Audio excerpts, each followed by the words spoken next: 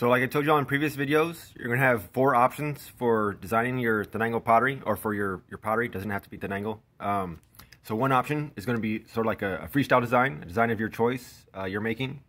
So for example, what you want to uh, want to do if you're making a uh, freestyle design is first remember your pot is about three inches in height. You want to measure off um, exactly how big your design is going to be. For mine, I did a center band, um, so mine is about two inches, and it's going to go across the center, and I'm going to put designs uh, above and below it. So what you're going to do is first uh, determine the size of your band or your design.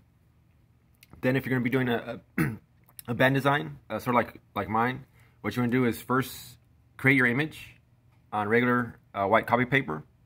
And again, you want to make it uh, exact dimensions uh, for your pot. You want to measure it off. Um, so see, mine's obviously a little longer, so that's why I chose just the, the center part.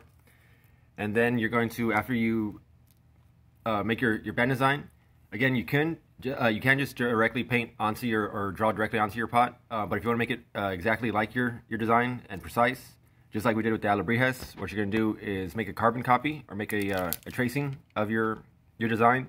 Remember, just go a little he um, heavy on the on the graphite on the on the lead, and then you're going to be able to transfer your your image uh, by tracing it. Okay. So again, for your uh, freestyle design, you're going to have uh, the option of doing a design of your choice. You could either make a band design like mine. You can make a, a design that goes uh, covers the majority of the vase. Again, it's it's your design, it's your um, your choice. And again, you could also have the option of doing your design um, in pencil first, while it's still in its uh, in its primer primer coat, and then when you put your color over that, your um, your lines will still show up, so you could you know color them in, or you could put your uh, designs on top of your um, pot already uh, colored with the base coat, like this one, and then you just put your design uh, over that, okay? So again, this is the options for the freestyle design. You're gonna have to um, clear this with me first if you're doing a freestyle design. Uh, make sure it's appropriate, obviously, and make sure your dimensions are correct.